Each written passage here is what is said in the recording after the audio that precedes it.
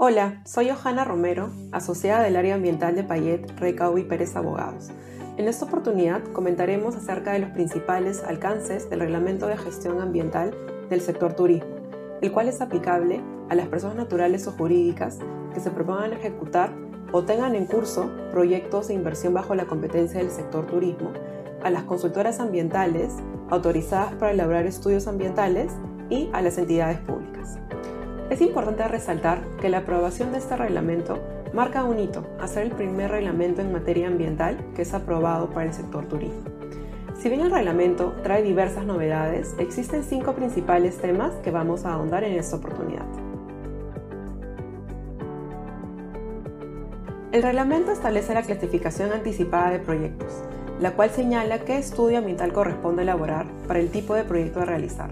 en caso el proyecto que se pretende ejecutar no se encuentre en el listado aprobado, el titular deberá presentar una solicitud de propuesta de clasificación de su proyecto.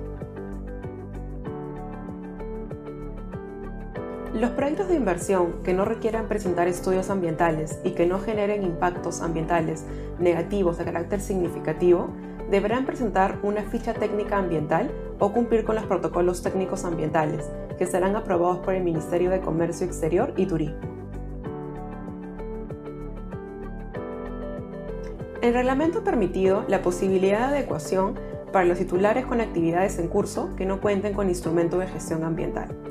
Para ello, como primer paso, los titulares deberán comunicar al MINCETUR y al gobierno regional de su jurisdicción en el plazo de 120 días hábiles, es decir, hasta el 24 de noviembre del 2023, que vienen llevando a cabo actividades turísticas sin estudio ambiental y deberán detallar los componentes construidos, las actividades desarrolladas, o las modificaciones realizadas sin aprobación.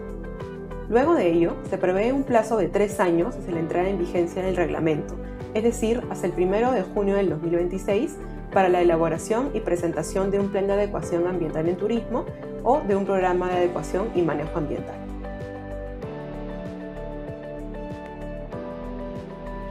Se establece que los titulares han cumplido cinco años de iniciar la ejecución de su proyecto y los que en 180 días calendario los fueran a cumplir sin haber actualizado su estudio ambiental, tienen plazos del 1 de junio del 2024 para presentar la comunicación de no actualización o solicitar la actualización de su estudio ambiental, según corresponda.